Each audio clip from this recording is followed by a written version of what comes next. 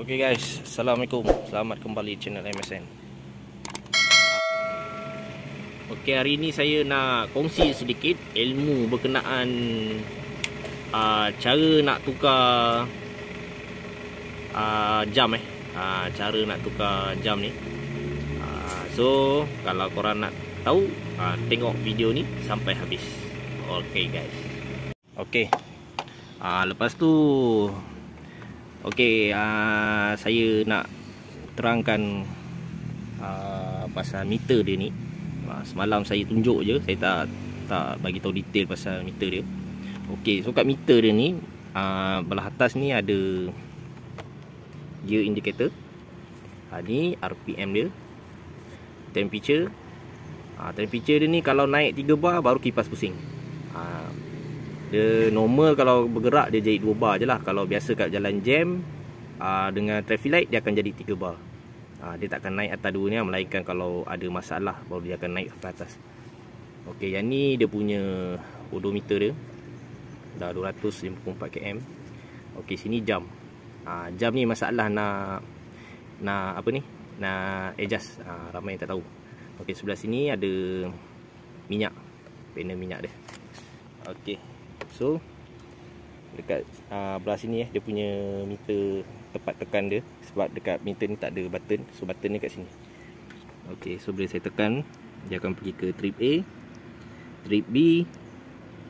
Ah, lepas tu dia ulang balik. So dia tak ada uh, fuel consumption. Ha, dia tak ada.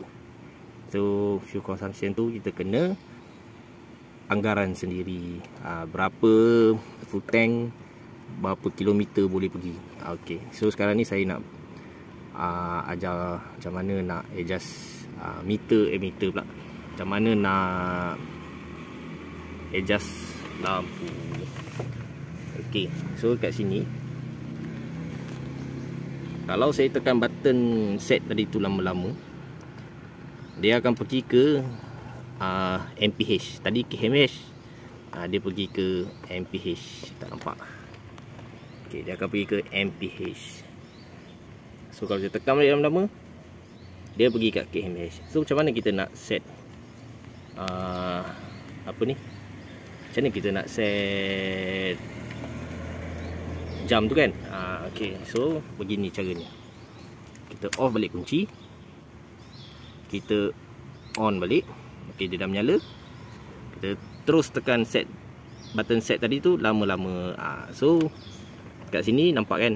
Uh, jam ni dia dah berkelip kita tekan lah. Pukul berapa pukul berapa? Kan? Sekarang pukul 11 ok uh, kita tekan. Uh, kita set lah pukul berapa yang kita sekarang ni kan waktunya. Uh, dia jam dia 24 jam. Kita kan set balik. Pukul 11 alamak terlepas pula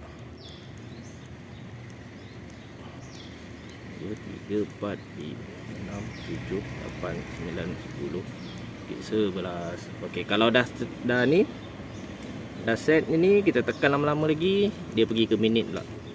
Ha, minit. Tekan. Ha, ok lepas tu dah, dah siap tekan lagi lama-lama. Ok so dia dah siap lah. Ha, dia dah siap lah. Bila dia dah habis dia dah tak ada tekan lama dah. Ok so macam biasalah tadi. Ha, jangan nak set jam ni kena on sekejap je.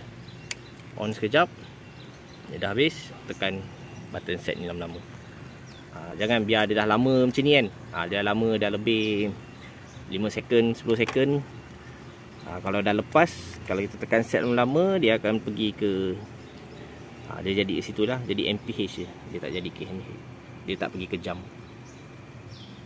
Ok so Ah, ni je lah yang saya nak kongsi untuk hari ni lah.